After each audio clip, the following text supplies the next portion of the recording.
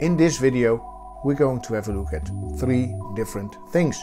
The first thing is that we want to find time to study. So, where do you find the best time to study? And if you have time to study, what's the best time for you to study? Is this in the morning, in the afternoon, or the evening? And the third thing is we have a look at what to avoid when studying. Let's dive into how to find time to study. Hi, my name is Arjen and I help busy people study smarter. If you're interested in this, make sure that you subscribe to the newsletter and you subscribe to the YouTube channel. Let's dive into studying and time management. When you have a busy life, a family life, studying can be hard. Usually it's the last thing on people's list if they're talking about priorities. You have to work for your food and your shelter. You have your family for the love and you have study to do something in the future. So, studying is usually the last thing that people work on when they have to choose from these three. If you want to have time, you have to understand there's always time to study. It can be that this 20 minutes or 30 minutes or 60 minutes in the evening. Well, if you have that time in the evening, use that time. There's usually time that you can study. Maybe you're watching Netflix all day, all, all evening. Well, maybe you can use like 30 minutes of that time to study. You can get up 15 20 minutes earlier so you can study in the morning. Know that there is always time and you have to decide that you want to study so you can use that time to study. As I said in the previous video about studying one hour per day, there's always time. You just need to learn how to not go for hours upon hours of studying. No, you just go for 15 minutes and then a couple of times a day. So in the morning, 15 minutes, afternoon, and evening, all 15 minutes. In this way, you don't need that much time. And perhaps you know the expression beggars can be choosers. Well, in studying, that's also the same. If you have five minutes, use those five minutes and use those five minutes for studying. Don't try to aim for at least an hour every time. If it's five minutes to just read something, you take those five minutes and you move on. Using the right routines, you will be able to do a lot with just five minutes of reading, five minutes of note taking, five minutes of memorizing information. 15 minutes, it's all good. Just know that if you study one page per day, you're studying one book per day. And it's just a matter of how many books do you want to study through the year by going for one, two, three, four, or ten pages a day. Now, when is the best time to study? Well, if you have really just a few minutes a day, probably the moment you have those minutes. But for most people, we have more time than we think. So if you're a night owl, you might be thinking about, I will do all my studying at night. And if you're really easy uh, for getting up in the morning, no problem, you study in the morning. But when is the most beneficial time to read or to take notes, to summarize your information, to do assignments, to do your writing?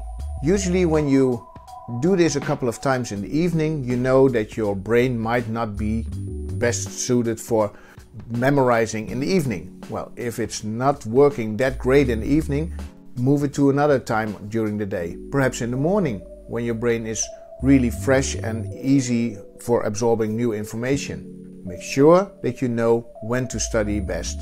Light reading in the evening could be a wonderful thing if you're all day working and your head is filled with information.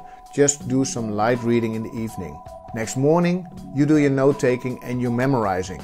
And by doing it this way, you make your brain much better in study. The most important thing you should do right now is create a log. So if you're really bad at note taking in the evening, do it at another time. You know what you experience and you make a schedule for yourself according to what you experienced. What works best for you? That's something that you need to figure out.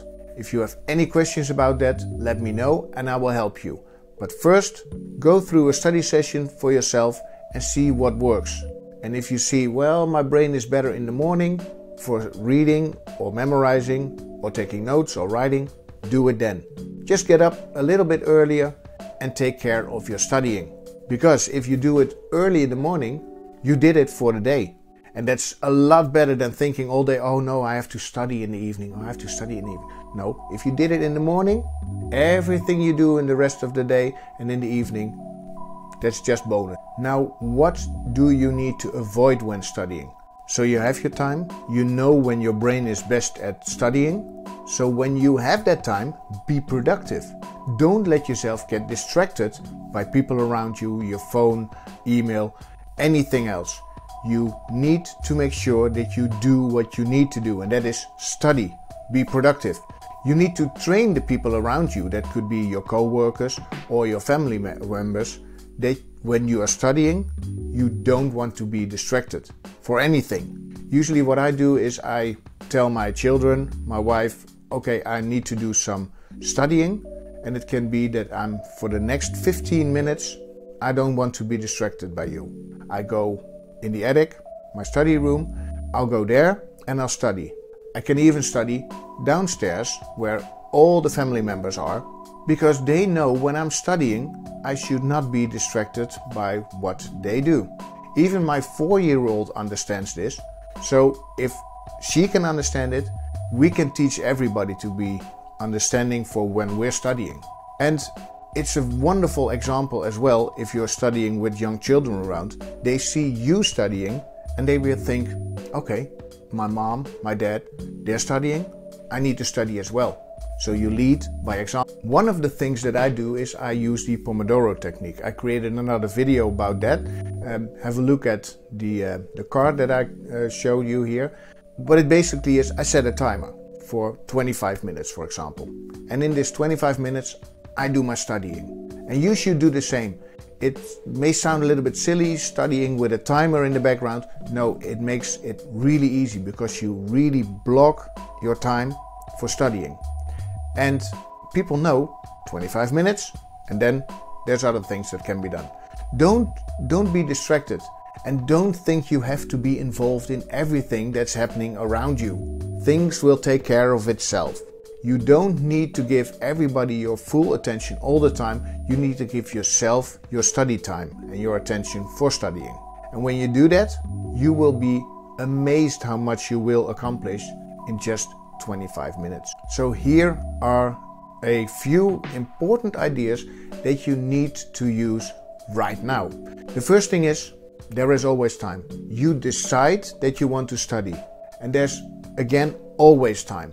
If it's just you going out of bed a little bit earlier, or you record your notes and you listen to them in your car, or you after your work you do uh, just 15 minutes more of studying before you go home, for example. There's always time, always. That's the first thing. You need to know that there is time and you decide to study. The second thing is understand when your brain likes to do certain study tasks. Reading in the evening, Wonderful. Memorizing in the morning could be great because your head is not filled with all that information. Writing could also be done in the morning or in the evening. You know when you are performing best at studying and make sure that you create a study routine that helps you with that. The last thing is make sure that you avoid distractions. Don't get distracted by everything.